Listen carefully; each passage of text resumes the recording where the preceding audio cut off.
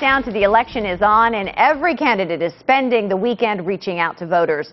11 at 11's Melanie Kahn caught up with the Senate candidates today and has more on what they're doing to prepare for Tuesday. Melanie? Well, Claudia, this is the last weekend before the polls open, so it's the last time candidates will have a chance to reach voters, which is exactly what they were all doing today. Busy, busy few days. That's how many of the candidates running for Senate in both parties are describing the final few days before the election.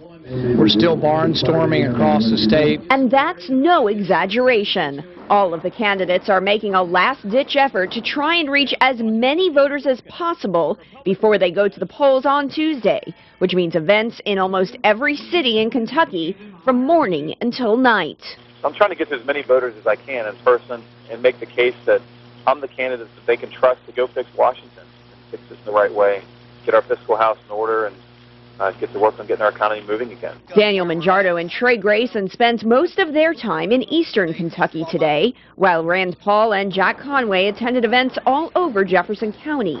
And while all the candidates say they're feeling the weight of the election, they all say they're optimistic about Tuesday. Say I'm astounded at where we are, leading by double digits going into the final week. We're really excited by it. Over yet, we're taking nothing for granted. Uh, we're, we're not going to leave any stone unturned between now and, uh, and election day, uh, but we're excited.